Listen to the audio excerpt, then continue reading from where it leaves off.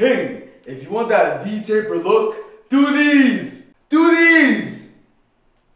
And do these! And do these! And do these! And do these! And of course, follow me for diet tips so you can accentuate that V-taper look by burning that belly fat.